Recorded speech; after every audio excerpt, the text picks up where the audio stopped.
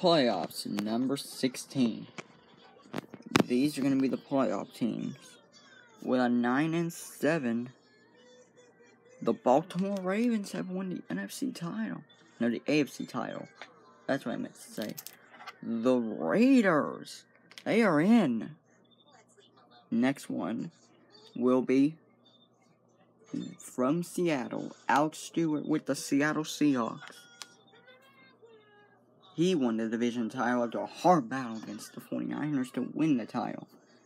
Kyle Busch rocks in a new stadium with the New York Jets. The Patriots.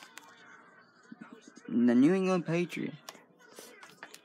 Dire WWE Alex rookie as a player, not the entire signed.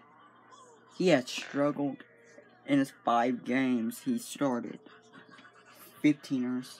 Now it's getting better as a run. Oh my god.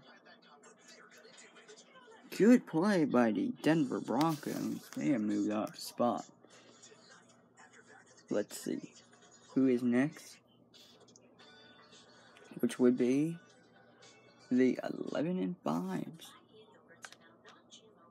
Gerald holds on and knocks Jacob Sloan out. We got 10 NASCAR fan 1. He is in this now. He's in it to win it. Isaac is in it to win it for the first time in a few seasons. I'm in it to win it again. Wow. Saints are in with a 12 and 4, and the Bears are in with a 13 and 3. The guys, I hate the Patriots, Panthers, and Cowboys. I'm neutral with the Bears. The rest I like. And the guys who did better with win record, the Steelers, the Titans. Tony Green is officially done. That's his first ever missed playoff opportunity. And the Packers, Jacob Sloan, unfortunately out. Tennessee Titans fan out, and the Steelers are out.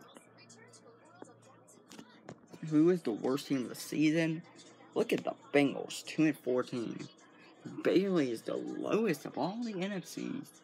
Well, 4 and 12. The struggles continue, and the defending Super Bowl champ is not going to be the Super Bowl champ. The Chiefs are out.